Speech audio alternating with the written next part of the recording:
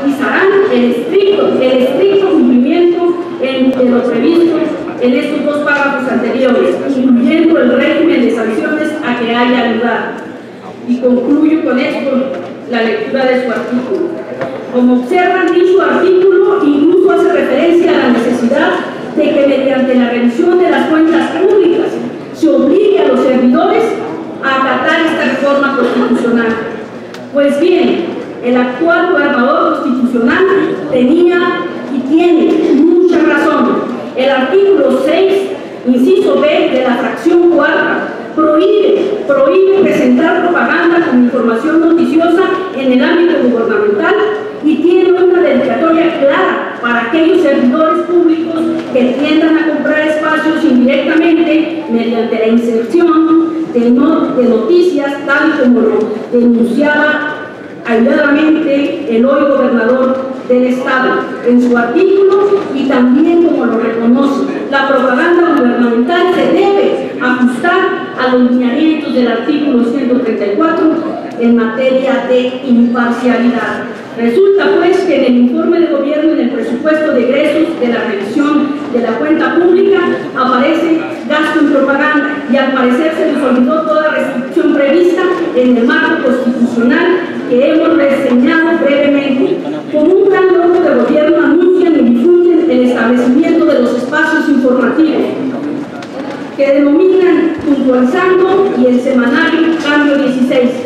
en los cuales el año, en el año 2018 señalan lo siguiente en su informe de gobierno. Entre los medios incluyen esta información del Sistema Estatal de Comunicación está el portal de Internet Unidos con Valor, Vox.mx, con los mismos sitios de red Chihuahua, Zona Norte y la redirección a Cambio 16, Gobierno.mx Cambio 16, las emisiones de radio y televisión del noticiero Puntualizando, así como 21 cuentas institucionales en 7 plataformas de redes sociales. El noticiero Puntualizando incluyó 726 cápsulas que fueron transmitidas en 30 radiodifusoras, 3 canales de televisión y 3 medios digitales a lo largo de 43 municipios. Además, se difundieron 30 programas y 153 noticieros en los espacios gratuitos de la Hora Nacional y Radio Universidad. Conforme al presupuesto de egresos y el gasto destinado en comunicación social, se han gastado más de 460 millones de pesos y por el sistema de transparencia solicitamos y tenemos la evidencia que en estos medios de comunicación van hasta ahorita 28 millones de pesos. Con este gasto se pudo haber salvado a los empleados despedidos recientemente o se pudo haber intervenido para ubicarlos en el tratamiento del cáncer de mama o bien en becas universitarias. Pero parte de este gasto se ha utilizado en las cápsulas informativas de Puntualizando, que no son otra cosa que spots de propaganda pagada. Por cierto, su duración es muy larga, porque se simulan diversos servidores públicos utilizando su voz o imagen, campaña de propaganda gubernamental que desde luego viola el artículo sexto, inciso B, fracción cuarta de la Constitución Federal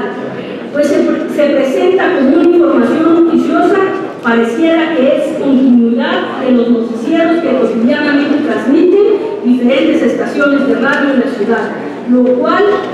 de, de suyo ya de entrada es grave, pero si ello no fuera suficiente, se comprueba la mala fe del daño, del daño propagandístico, pues en realidad son spots de 5 a 10 minutos, donde, como lo decía entonces el senador, hoy gobernador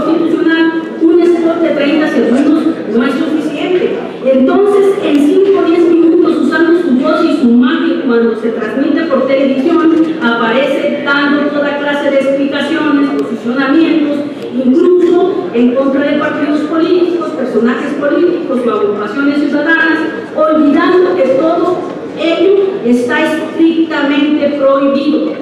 De tal manera que esta conducta es indicador de una distracción grave de los recursos públicos, de los que están previstos, configurándose además distintas violaciones administrativas o inclusive el análisis posible del delito de peculado previsto en el artículo 270 del Código Penal, ya que al estar promocionando su imagen y su voz usando el recurso público, está distrayendo de su objeto el